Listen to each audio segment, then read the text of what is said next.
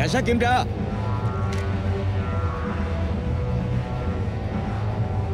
Quản lý đâu? Mở đèn lên. Những người khác đứng im tại chỗ chuẩn bị chứng minh. Hai vị cho xem chứng minh. Giơ tay lên. Tôi cần xét người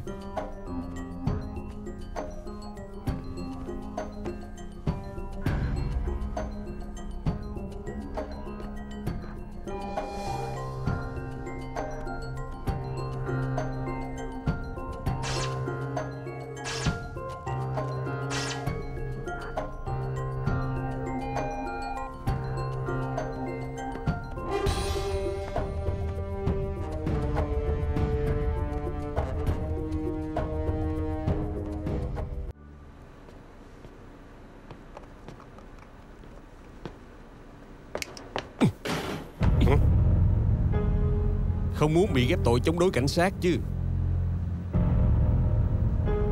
Thì ra là sếp. Hèn gì? Hèn gì sao hả? Hèn gì tính giá họa cho tôi nhưng thất bại à? Bây giờ tôi muốn xét người cậu. Nè Tôi cũng biết luật đó. Tôi có quyền yêu cầu gì sở cảnh sát mới cho xét. Về sở cảnh sát mới cho xét. Lâu vậy gói hàng biến mất thì sao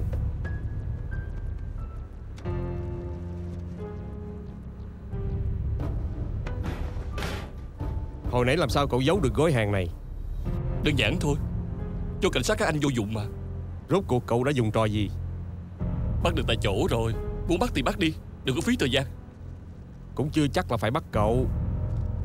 Chỉ cần cậu nói ra cách cậu giấu gói hàng này Cho tôi thấy cậu lợi hại Có thể dùng được Có thể tôi sẽ tha cho cậu. Dễ dàng vậy sao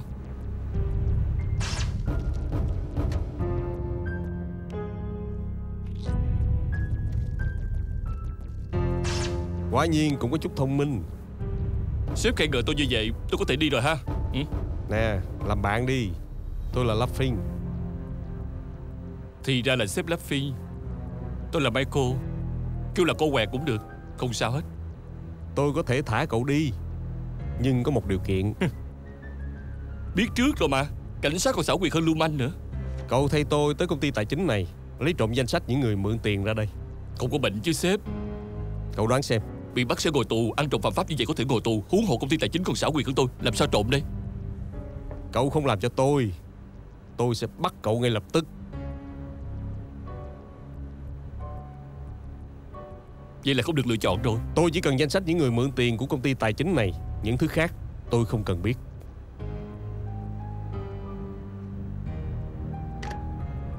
Có điều dưới lầu công ty tài chính đó Có rất nhiều CIB đang theo dõi Cậu phải tùy cơ mà ứng biến?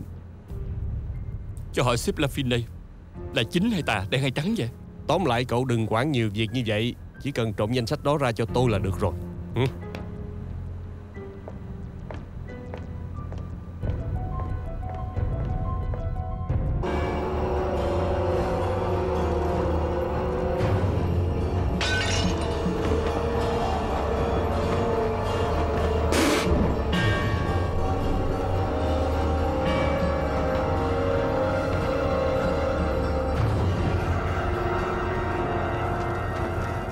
Laffin lợi hại thiệt?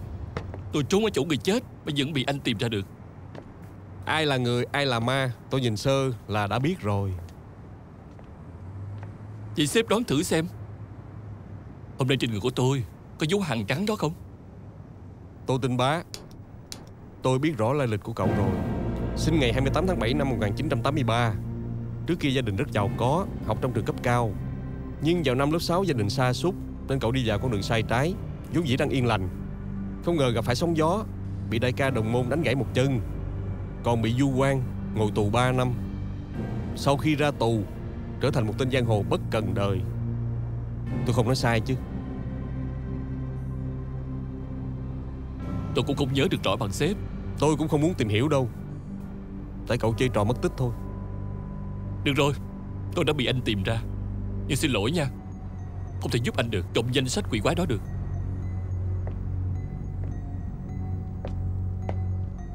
Tôi là cảnh sát. Một hay nửa gói hàng trắng tôi có thể tìm ra bất cứ lúc nào. Muốn hại tôi hả? Tôi sẽ thưa anh đó. Nói không chừng tôi sẽ nói ra Chuyện anh muốn trộm danh sách đó. Cậu nghĩ người ta sẽ tin một thằng lưu manh như cậu hay là tin tôi đây?